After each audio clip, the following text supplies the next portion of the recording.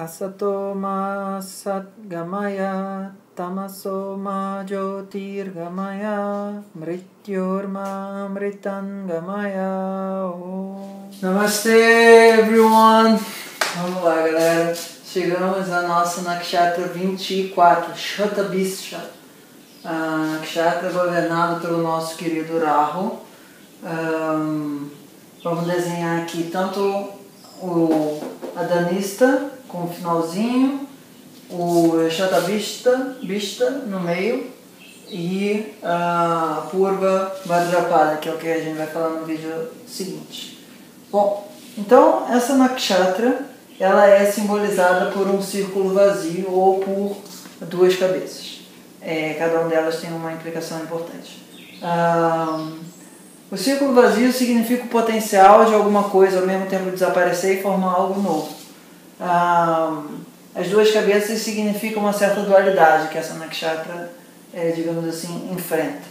Ah, Varuna é, é um ser responsável por tomar atitudes é, que são muito importantes, mas que são penosas também. Então, nessa nakshatra, ele mexe a uma necessidade de uh, fazer sacrifícios para que bens maiores possam ser alcançados. A Shakti dela, Beshaja, é a capacidade de curar, mas aqui está muito voltada a um aspecto espiritual desse entendimento do que está sendo curado. Tá? Então aqui o Rahu, digamos, tem a sua nakshatra é, superior, aonde ele está buscando uh, revolucionar o entendimento da espiritualidade. E antes era do processo do ego, do processo da vida material, e agora está nesse sentido é, relacionado ao que é o entendimento da espiritualidade. De uma maneira geral, nos quatro quadrados dessa nakshatra, a gente vai ter é, a capacidade de transmutar karmas, karmas intensos, karmas que não sejam fáceis de, digamos assim, serem enfrentados, coisas que deem medo, coisas que é, gerem insegurança, coisas que o Rahu está normalmente associado. Também a capacidade de vislumbrar segredos, aquilo que é escondido, aquilo que não é muito revelado, principalmente no nível mais sutil, profundo, psíquico, kármico. Aí a gente está falando mais ou menos a imagem do xamã, é, num processo terapêutico com a tribo, etc. e tal. De alguma forma, a ayahuasca também está muito uh, relacionada à energética dessa nakshatra é, habilidade de trazer consciência ah, da essência por detrás das aparências.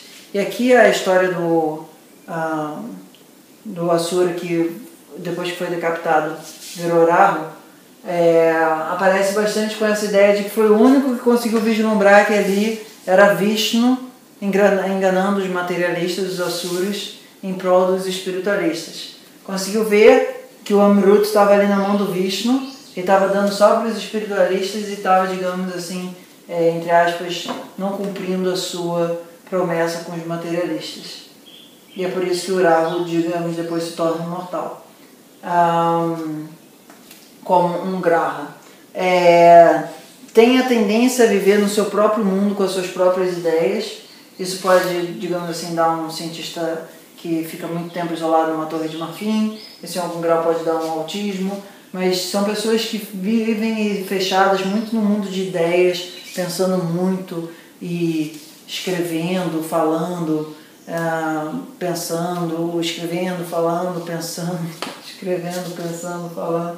E normalmente trazem desse processo uma proposta de transformação societal muito uh, potente e muito é, bem acabada. São pessoas que normalmente não têm uma necessidade muito grande de ficarem vivendo socialmente no meio e se afastam e têm tempo para escrever tratados longuíssimos e coisas que, ah, como um Kant, marcam eras. Bom, mas isso falando dentro da perspectiva ocidental, assim como um referencial ocidental. Vale notar aqui nesse desenho que a cor roxa representa os nonos com vento, a cor azul as com água, a, ve a vermelha com fogo e a preta com terra. Eu não sei se vocês lembram, mas eu já falei isso antes. Mas sempre uma, um signo começa com uma, um nono relacionado ao elemento dele, né? Se o aquário é um elemento de ar, significa que ele vai começar com o elemento de ar, vai ter dois grupos fechados e um extra do outro elemento, o que significa que dentro da, desse signo, sempre as beiradas e o meio é daquele elemento. Então, no de fogo, a Ares, é, Leão e Sagitário, as beiradas e o meio é o nono de fogo. O de touro, a Virgem e Capricórnio é de terra. A Gêmeos, Libra e Aquário que a gente está de vento. E Câncer, Escorpião e uh, Peixes de água. Tá? Eu fiz aqui porque o desenho está começando a ficar um pouco mais organizado, aí achei que valia a pena dar essa pintada aqui. E ah, nesse caso aqui, o do meio, que é o quinto, representa o próprio signo, que depois a gente vai fazer uma regra mais fechada sobre isso. Mas vamos falar um pouco sobre as, os quartos dessa nakshatra de uma maneira mais específica. O quarto de fogo com Sagitário, o quarto de terra com Capricórnio, o quarto de água, o vento com aquário e água com peixes. Bom, o primeiro padar vai relacionar a energia de ah, Saturno com Rahu e com Júpiter, um Júpiter mais é, sagitariano. Então, nesse lugar, é a busca de grandes dimensões, busca de grandes ideias, busca de grandes causas e aqui eu coloquei como exemplo astronautas, praticantes de Zen e ayahuasqueiros. A galera de meditação vipassana também, via de regra, vai entrar por aí. Um, são pessoas que têm a austeridade do, do Saturno, a ambição do Rahu e, digamos assim, o foco do Sagitário. E essas coisas para, uh, digamos assim, só para exemplificar, eu botei esses três exemplos. São pessoas nesse signo que vão ter o elemento de terra forte, elemento de vento forte, mas também um certo elemento de fogo para dar mais ação.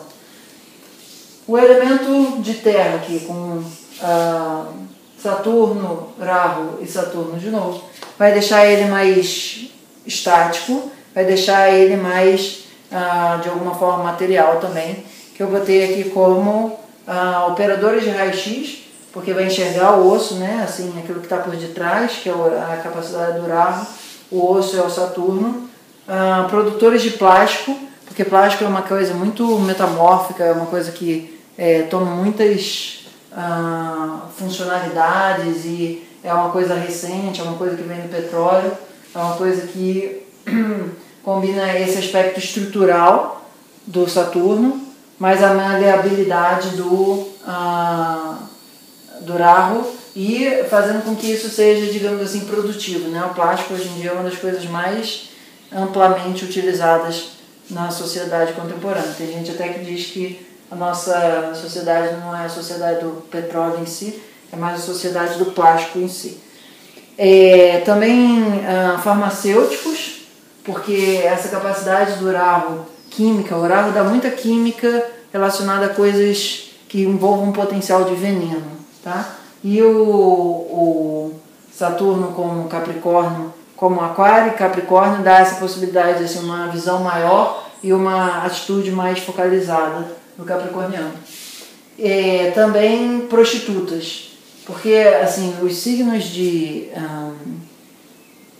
Capricórnio e é, Aquário, por serem regidos por Saturno, o Saturno ser um astro potencialmente bastante tamásico, faz com que qualquer coisa que seja necessária na matéria seja pertinente. Seja varrer um lixo, seja ser presidente, seja o que for. E nesse caso, o, o signo de Capricórnio, pela ambição e pela busca do poder a qualquer custo, muitas vezes vai fazer com que o corpo seja instrumento.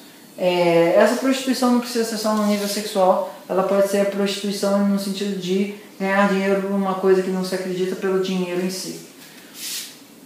No terceiro padar, é, essa energia. Ah, e aqui também, quando está mais destrutivo no, no de Capricórnio, isso pode dar pessoas assim com uma capacidade de explosão e auto-explosão e destruir uh, o que for na frente sem muito remorso. Tá? O signo de Capricórnio ele faz aquilo que for necessário para alcançar o poder, independente que tem que destruir tudo no caminho. Um, no estado mais tamásico. É, na combinação com Saturno Aquário, Rahu e Saturno Aquário de novo, o aspecto idealista vai ficar muito forte, como eu botei aqui a ideia do Júlio Verne. Júlio Verne com essa capacidade imaginativa de criar novos conceitos de tecnologia que o Rahu, mas tecnologia assim muito viajandona, nave espacial, ah, hoje em dia nave espacial já não é mais nada, né? Mas assim, nave de viagem no tempo, pronto. Aí é que a gente ainda está nesse conceito de caraca. É, vai estar muito relacionado a esse aspecto de produzir novas, novos conceitos do aquário, uh, com novas tecnologias, e aí o aquário de novo vai fazer para que novas coisas possam ser feitas, por exemplo, viagem no tempo, e essa imagem do Júlio Verne eu acho que me parece bastante interessante. É, produtores de álcool, porque o álcool também é uma coisa que uh, mobiliza muita massa, e aquário também está muito relacionado à massa uh, eventualmente coisas que sejam é, de fumar também pelo elemento do vento, por exemplo, o cânhamo e etc. Mas nem tanto super drogas sintéticas, ainda que o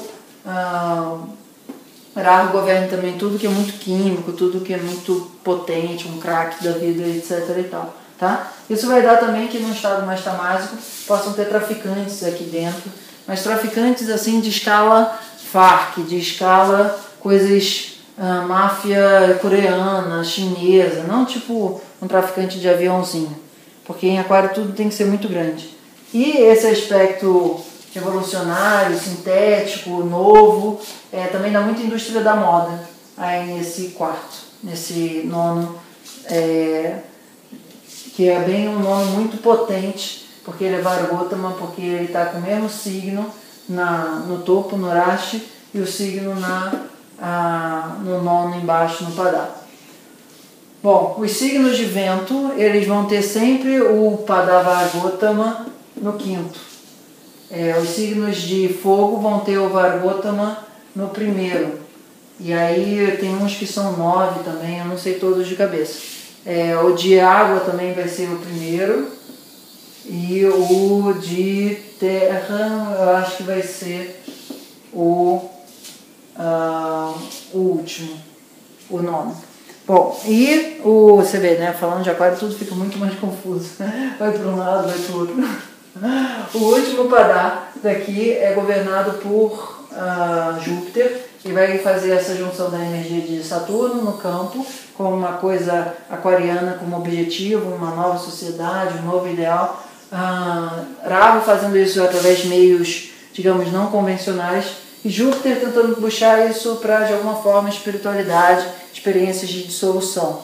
Então, ah, coisas que vão fazer um entretenimento, uma busca, muitas vezes, ou através do kama, ou através do moksha, de fazer com que haja uma busca de é, espiritualidade dentro do mundo material. Então, eventualmente, tem uma grande empresa, uma grande corporação fazer meditação lá, fazer shiatsu lá, fazer uh, tenda do suor lá. Coisas muito inusitadas que envolvam algum aspecto de espiritualidade em ambientes muito largos, em ambientes que proponham novas formas de organização social.